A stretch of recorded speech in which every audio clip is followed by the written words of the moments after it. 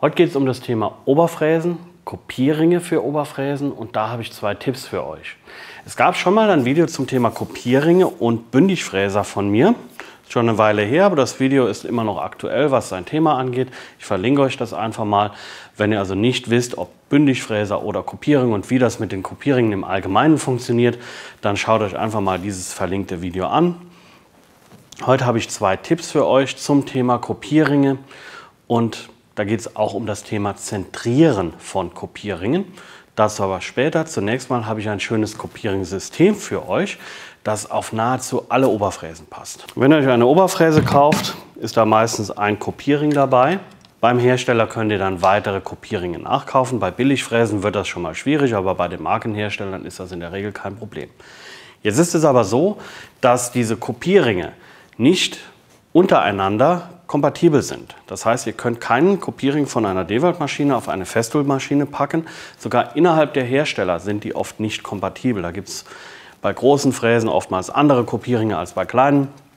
Und das ist natürlich blöd, wenn man mehrere Fräsen benutzt. Jetzt kann man sich natürlich ganz viele verschiedene Kopierringe kaufen. Schwierig wird das Ganze dann, wenn ihr bestimmte Fräsgeräte benutzt, wie beispielsweise Zinkenfräsgeräte. Da braucht ihr dann vielleicht einen Kopierring mit einem ganz speziellen Durchmesser, damit das passt. Wenn ihr den für eure Oberfräse nicht bekommt, ist es schon wieder blöd.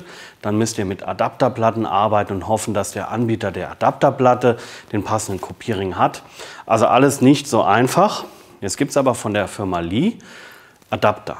Die Firma Lee ist ein Hersteller von Zinkenfräsgeräten und anderen Fräsgeräten und die wollen natürlich ihre Geräte verkaufen. Und da macht es natürlich Sinn, wenn jeder Anwender den passenden Kopierring für seine Fräse kaufen kann und die Geräte der Firma Lee dann nutzen kann. Also bietet die Firma Lee Adapter an für die unterschiedlichsten Oberfräsen, hier zum Beispiel für diese Dewald hier oder hier für die Festool OF 1400 in die dann diese sogenannten Porter-Cable-Hülsen passen, die in den USA sehr verbreitet sind. Die Firma Lee verwendet genau dieses System. Das könnt ihr euch also zunutze machen. Ihr besorgt euch für eure Oberfräse oder eure Oberfräsen den passenden Lee-Adapter. Die sind gar nicht mal so teuer. Und dann könnt ihr diese sogenannten Porter-Cable-Hülsen benutzen. Hier habe ich mal so einen Satz, den habe ich irgendwann bei Exminster mal bestellt. Der ist jetzt metrisch. Ihr bekommt auch welche in Zoll. Die könnt ihr auch hierzulande bestellen. Schaut mal nach Katsu ähm, Kopierringen oder verwendet die englischen Suchbegriffe mit Porter Cable zusammen. Also da findet ihr in diversen Online-Shops ganz unterschiedliche Angebote in Zoll und in metrisch. Diese Ringe hier, die passen jetzt in diese Lee-Adapter rein.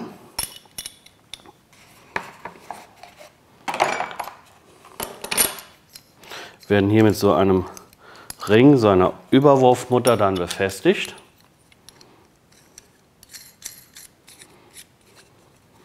Und da kommt ihr für relativ wenig Geld an ganz viele unterschiedlich große Kopierringe. So schön wie sich das Ganze auch anhört, es gibt einen Nachteil. Und den seht ihr hier. Das ist zum einen diese Überwurfmutter hier, die innen übersteht. Das wird hier dann so montiert. Die habt ihr beim normalen Kopierring nicht. Da ist hier alles eben. Das kostet also schon mal je nach Bauart eurer Fräse etwas Eintauchtiefe. Problematisch wird das Ganze nochmal, wenn ihr eine Fräse habt mit einer sehr großen Überwurfmutter. Ich habe hier mal die Überwurfmutter der Dewald-Fräse. Die passt hier gut rein. Die hat hier noch ein bisschen Platz. Kann natürlich nicht tiefer, weil der Ring zu klein ist. Bei der Festool-Fräse wird das schon knapp. Also hier habt ihr, ich habe das mal gemessen, rundum 0,25 mm Luft.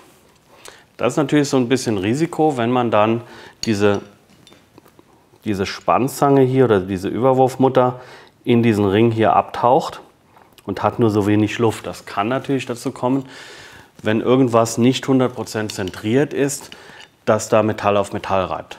Funken kann es nicht geben, da diese Einsätze hier aus Messing sind. Aber ihr seht hier schon das Problem, das sich ergibt. Also je nach Bauart eurer Fräse verliert ihr einfach an Eintauchtiefe. Und die ist natürlich beim Schablonenfräsen kostbar. Müsst ihr also selber schauen, ob das mit eurer Fräse funktionieren würde. Das hier ist ein Innendurchmesser von 27 mm. Also ihr solltet euch das System auf jeden Fall mal anschauen. Ich finde, es ist eine sehr schöne Ergänzung für vorhandene Kopieringssysteme. Aber es kann natürlich auch sinnvoll sein, wenn ihr mehrere Oberfräsen habt und nicht für jede Oberfräse denselben Kopierring bekommen könnt oder benutzen wollt. Also für den einen oder anderen vielleicht ganz nett. Es gibt diese Kopieringssets auch mit einem großen Messingadapter dabei. Der fehlt hier in meinem Set, weil ich den mit meiner Makita-Oberfräse damals verkauft habe. Denn der, und das ist das Spannende, der passt nämlich genau in die RT0700 rein. Also wenn ihr eine Makita-Oberfräse habt, dann könnt ihr euch den Adapter sparen, wenn ihr ein Set mit diesem großen Messingadapter kauft. Das passt dort wunderbar rein, habt ihr gar keinen Stress. Und die Kopierhülsen passen auch direkt in den Kopierkorb, also diesen kleinen Kantenfräskorb der Makita rein. Dann zum Thema Zentrieren von Kopierringen. Im Idealfall steht die Fräserachse genau oder steht der Fräser genau zentriert hier zum Kopierring. Das wird aber meiner Meinung nach total überbewertet. In der Regel ist das überhaupt nicht tragisch, wenn diese Zentrierung nicht hundertprozentig ist. Das sollte nicht irgendwie zwei Millimeter aus der Mitte sein, ganz klar, aber ein, zwei Zehntel stören hier überhaupt nicht. Warum das nicht stört, ist ganz einfach. Denn wenn ihr mit der Oberfräse arbeitet, beispielsweise auf einem Zinkenfräsgerät, dann werdet ihr die Oberfräse dabei ja nicht ständig drehen. Wenn doch, seid ihr selbst schuld. Haltet ihr die Oberfräse immer in der gleichen Position beim Fräsen entlang einer Schablone, dann habt ihr eventuell einen Komplettversatz eurer Fräsung im Zehntel Millimeter Bereich, aber die Fräsung selbst passt trotzdem noch. Also es gibt nur ganz wenige Fälle, mir ist genau gesagt keiner bekannt, in dem diese perfekte Zentrierung wirklich sein muss. Nochmal, wir reden hier nicht über Abweichungen im Millimeterbereich, sondern im Zehntelmillimeterbereich. Und das sollte eigentlich jeder Hersteller soweit schaffen, dass seine, Zentrier dass seine Kopierringe halbwegs zentriert in der Grundplatte sitzen. Bei vielen Fräsen könnt ihr das auch ausrichten. Hier zum Beispiel geht das nicht. Der Kopierring sitzt hier stramm in einer Fräsung drin. Hier bei der OF 1400 kann man auch nicht so einfach den Kopierring ausrichten, zentrieren, da hier diese Aufnahmemechanik drin ist. Das geht irgendwie, muss man glaube ich das Ganze hier aufmachen und zentrieren, aber so einfach ist das nicht. Aber wie gesagt, es ist auch nicht wirklich notwendig. Dennoch ist es wichtig zu wissen, wie gut diese Hülse zentriert ist. Und da gibt es einen ganz einfachen Trick, das rauszufinden und den zeige ich jetzt mal. Für den Test spannt ihr in eure Oberfräse einen Nutfräser ein, montiert einen Kopierring, ganz egal welchen. Hauptsache der Nutfräser passt durch. Dann braucht ihr irgendein Restholz, in das ihr fräsen könnt und ihr braucht ein zweites Brett mit einer absolut geraden Kante, auf der eure Oberfräse laufen kann. Also keine schmale Leiste nur, die würde auch nachgeben, sondern ein etwas breiteres Brett. Das spannt ihr euch hier auf und dann macht ihr Fräsungen. Da reichen ein paar Millimeter Frästiefe. Ihr haltet die Fräse beispielsweise so, macht eine Fräsung, dann dreht ihr die Fräse um 90 Grad, macht eine zweite Fräsung, die in der ersten Fräsung beginnt. Das ist wichtig. Dreht die Fräse nochmal, macht eine dritte Fräsung und wenn ihr wollt, könnt ihr die Fräse noch ein viertes Mal drehen oder ein drittes Mal drehen und macht eine vierte Fräsung. Das Spannende ist dann das Ergebnis dieser Fräsung. Ich habe das bei der Maschine hier noch nicht gemacht, auch bei der Dewald noch nicht. Ich bin selbst gespannt, wie gut hier der Ring zentriert ist.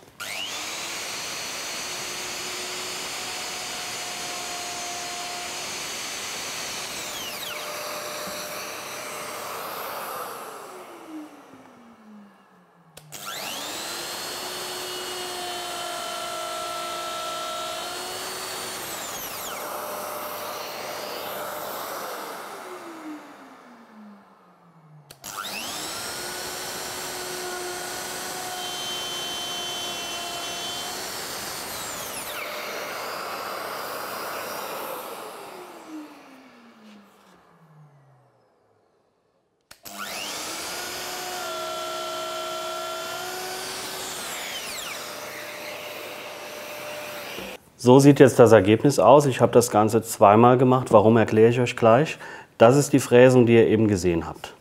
Ich habe jetzt hier zwischen dem ersten Fräsgang und dem zweiten Fräsgang einen Versatz von ja, gut 3 Zehntel Millimetern. Die beiden nächsten Fräsgänge sind fast auf gleicher Ebene, auf gleicher Linie. Das erschien mir dann doch etwas unlogisch, denn wenn der Kopierring versetzt ist, müssten immer zwei Fräsungen in der gleichen Ebene liegen, nicht nur drei und eine. Deswegen habe ich das Ganze nochmal gemacht. Das würde ich euch auch empfehlen, wenn euch irgendwas nicht geheuer vorkommt. Wiederholt den Test einfach.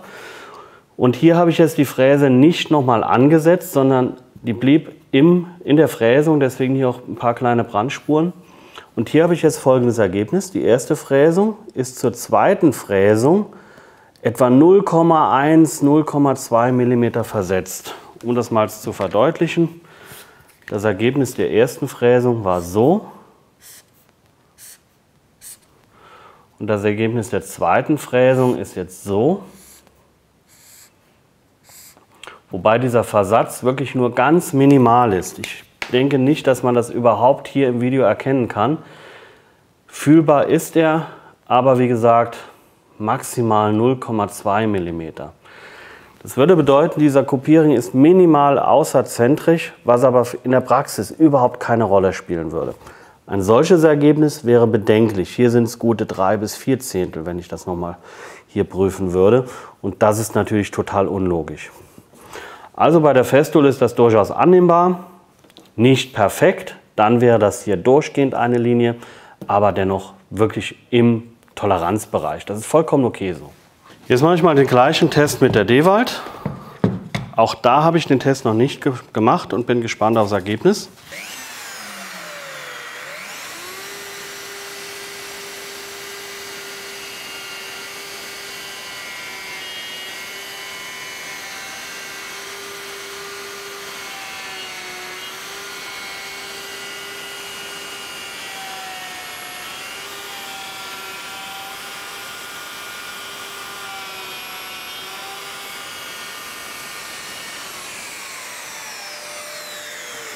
Auch hier ist das Ergebnis vollkommen okay. Eine kleine Abweichung ist da, ähnlich wie bei der Festool, so etwa 0,1 bis 0,2 mm. Wenn ihr in Geometrie ein bisschen aufgepasst habt, werdet ihr jetzt vielleicht verwirrt sein. Denn das, was ich euch hier in der Fräsung gezeigt habe, passt vielleicht nicht zu dem, was man eigentlich erwarten sollte. Ich habe das hier mal skizziert, wie das eigentlich aussehen sollte, je nachdem wie der Versatz am Kopierring, also zwischen Kopierring und Fräser ist. Hier zum Beispiel bei einem einfachen Versatz in eine Richtung, da sollte das Ergebnis eigentlich so aussehen, das ist der Fräser, das ist der Kopierring, das wäre jetzt die erste Fräsung, die zweite, die dritte, die vierte und ihr seht hier immer den Versatz zur ersten Fräsung. Hier unten das Ganze nochmal mit einem Versatz gleich in zwei Richtungen. Da ist das Ergebnis viel krasser, also das passt nicht 100% zu dem, was ich hier erklärt habe. Das hat einen ganz einfachen Grund. Das, was ich euch hier gezeigt habe, ist eine sehr einfache Variante. Die hat natürlich ein paar Schwächen. Zum Beispiel passiert es natürlich ganz schnell mal, dass man mit der Fräse wackelt. Ihr habt vielleicht irgendwo doch noch eine Unebenheit in der Kante etc. Die Methode, die ich euch hier gezeigt habe, ist im Prinzip ungefähr, aber genau genug. Ihr werdet in diesem Zehntel Millimeter Bereich niemals genau den Versatz erkennen, der sich vielleicht zeichnerisch ergeben würde.